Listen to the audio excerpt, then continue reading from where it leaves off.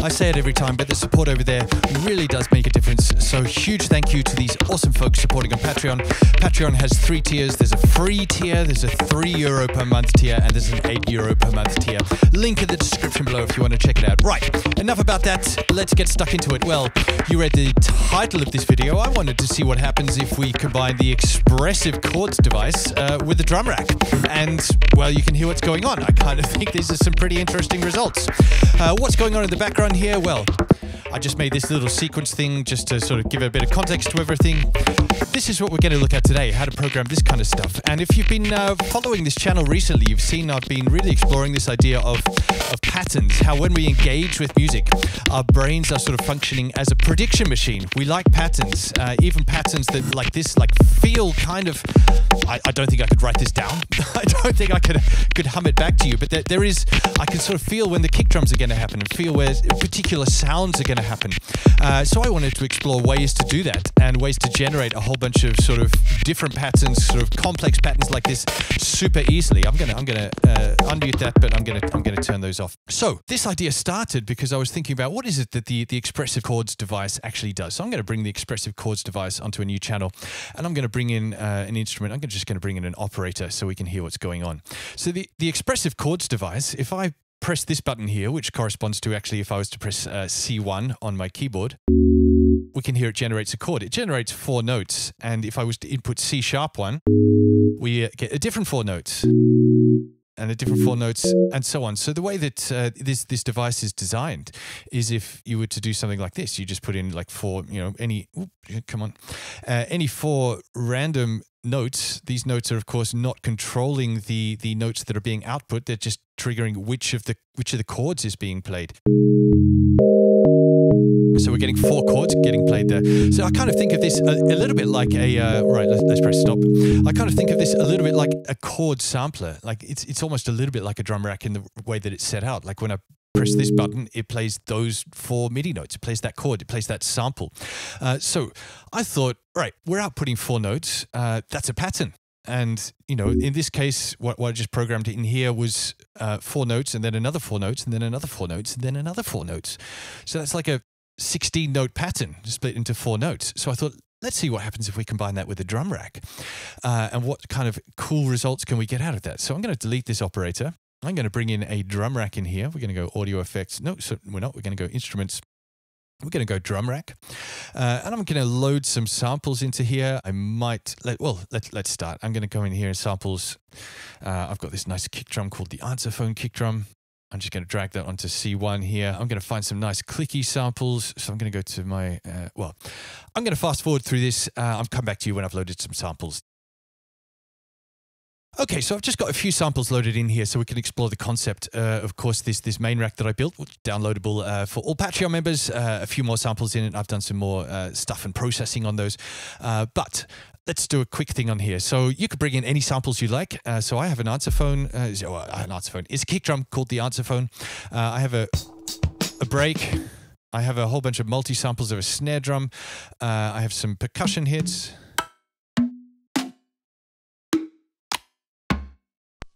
I have a whole bunch of uh, glitchy, clicky stuff.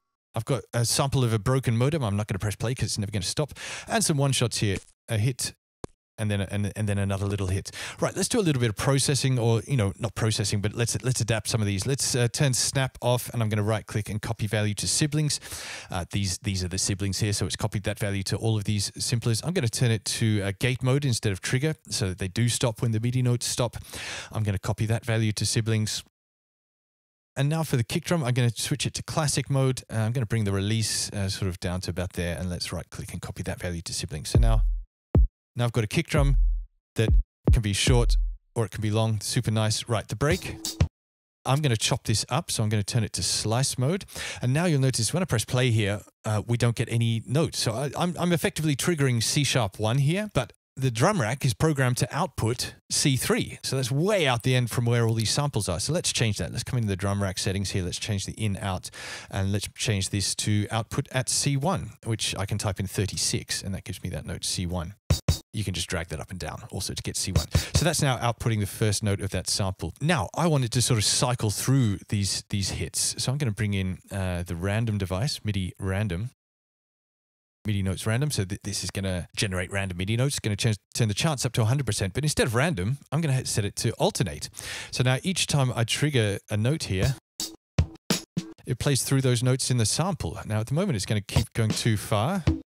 Yeah, so I probably want to change this to, to 8, I think, or maybe 7. Let's try 8. Ooh.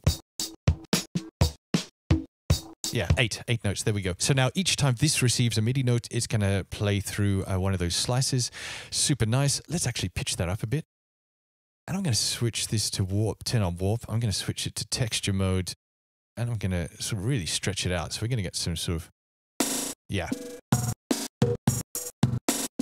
some sort of glitchy granular stuff happening with that break each time it triggers a sample. Super nice. Right. Snare drums, uh, I could randomize them. I'm just going to leave it on one at the moment. Just that one. Yeah, let's do that for now. Uh, right. Percussion hits. I'm going to slice these up.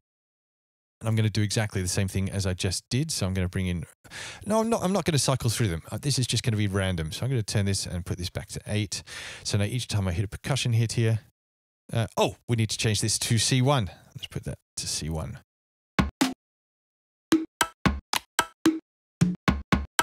Uh, too high. I think this just needs to go to seven. Yeah, so each time that that happens, we're getting we're getting a, a random a random percussion hit, uh, glitchy click. Right, let's slice this and let's do the same thing. I need to bring that over to here. So yeah, bring in a random. Let's turn the chance all the way up. Let's turn that back down to seven, and so we're going to get random. Uh, oh, I need to put this back to C1 as well. So let's switch that to 36. Yeah, let's random pan that as well. Let's come in here into the controls. Let's turn the random pan up. I've got this broken modem sound. Uh, what does that sound like? Ooh. Right, let's uh, let's slice this. Uh, let's just pick a chunk in the middle here. And again, let's use random. Now this time we've got a whole bunch of slice. Actually, bring the sensitivity down a tiny bit and bring it back over here. This time we can turn the choices all the way up. So now we're going to get sounds like R2D2. Right, what have we got here? Yeah, just a nice little hit. What are we going to do with this? Well, let's also turn the random pan up on that. Uh, really nice. And let's let's randomly transpose it. Let's bring in a MIDI effects. Uh, let's use uh, expression control. Let's switch this to random, switch this to 100% bipolar, and we're going to map that to uh, to the transpose here. Now what happens if we do this? Yeah, maybe a bit too much on the transpose. Let's bring that down a bit. Nice. Okay, so we're getting some random sounds there. And this hit, I'll tell you what, let's just leave that as it is for now. So now when I press this note, we're triggering four notes and we can see those four notes happening on the drum rack over here. And only one of those is actually triggering a sample, so the, re the rest is sort of way out the top. Let's change that. Let's change it so that any notes that come out of here are going to play one of these eight, eight samples here. So we're going to do that with a MIDI effect. We're going to use a pitch device. I'm going to drag that in here.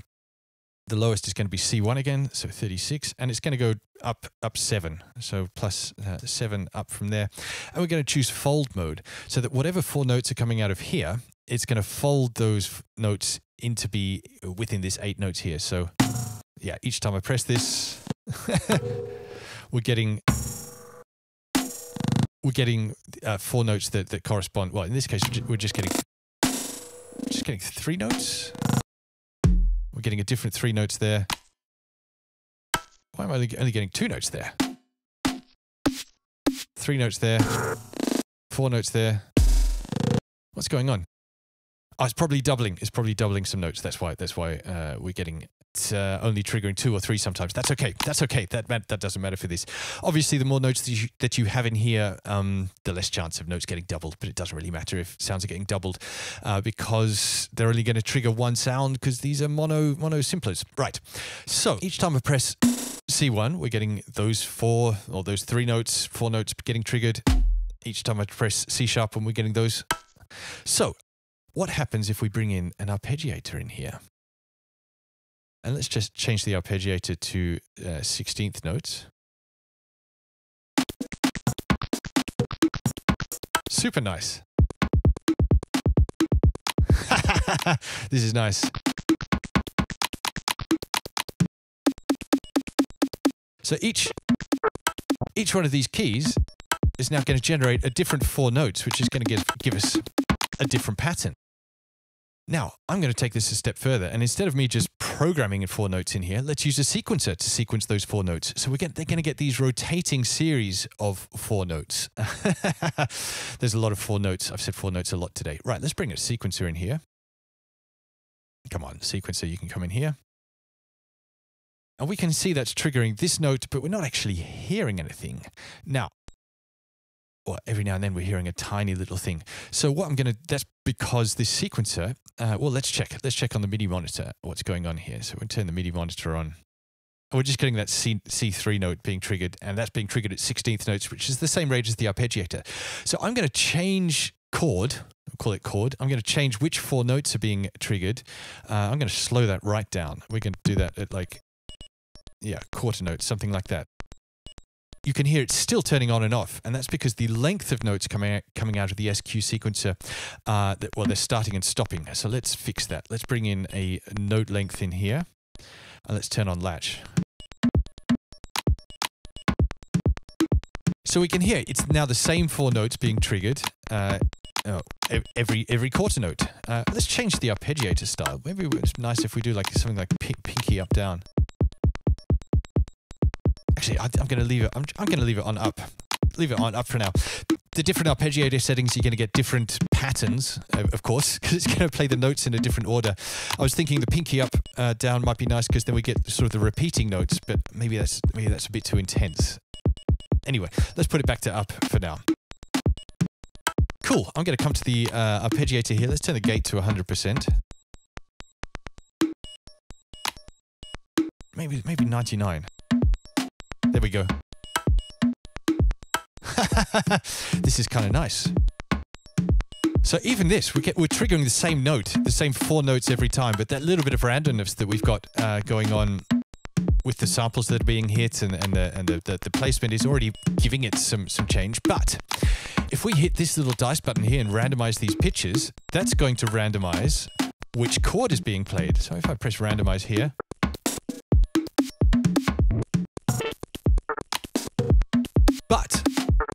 it's randomizing the chord that's being played, but we're getting those chords in a sequence of eight notes. So we're getting eight note, we're getting eight times four notes. So we're effectively having a, a 32 note sequence uh, getting spat out and coming into into the drum rack now. This was the main idea that I explored. I took it a bit further. On the on the Patreon mem members version, you can download this rack, which has you know a whole bunch more samples in it. Let's do a little bit more stuff on the processing. Like let's send some of these these drum hits to a reverb. Let's set a reverb up inside the drum rack. So I'm going to activate the reverbs here. Well, the return. Sorry. Get a right click, create a return chain. Uh, let's drag a reverb in here. Let's use hybrid reverb change that to 100% wet because all the dry signals coming out the, the main part. Let's turn on the sends here so I can send some stuff to it. And let's just maybe change those, uh, send that percussion hit. Yeah, there we go. This is kind of nice. Let's send these these these small hits out to the reverb as well.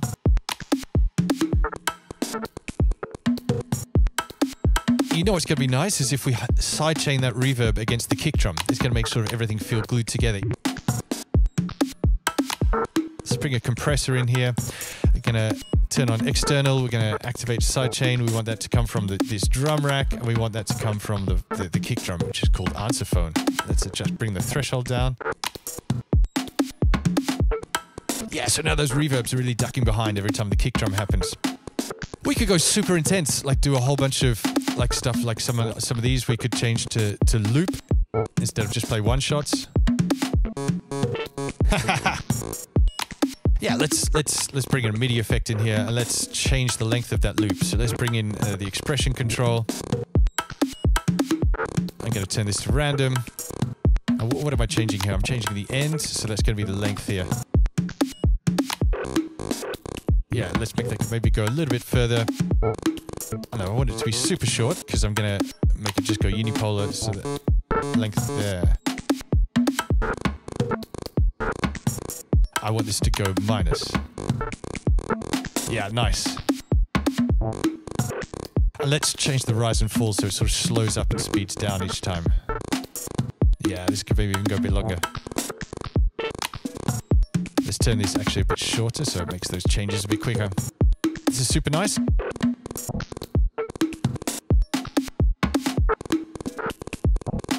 Let's do some stuff with the break.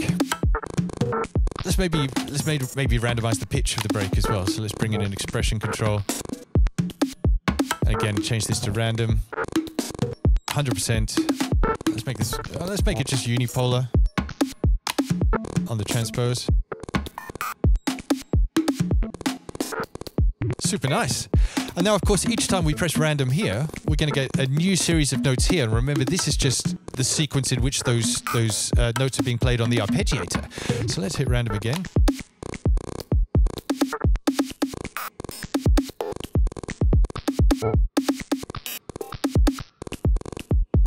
So I really like this because I can feel a pattern, I can sort of sense a pattern, but I can't quite predict the pattern. And that's really drawing me in. That's really engaging me with the music that's going on.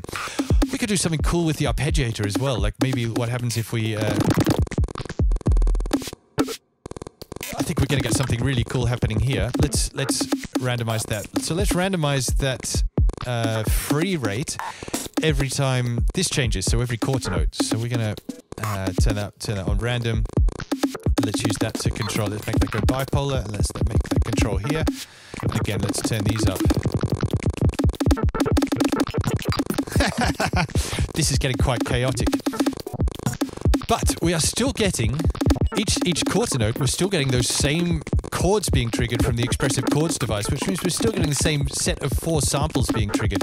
And again, you know, if I was to load in more samples here, that would that might make a bit more sense and things have changed a bit more. But let's come back to here.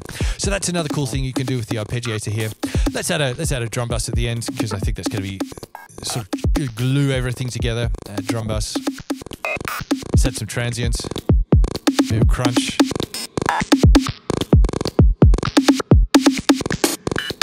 Cool, let's bring that sequence back in.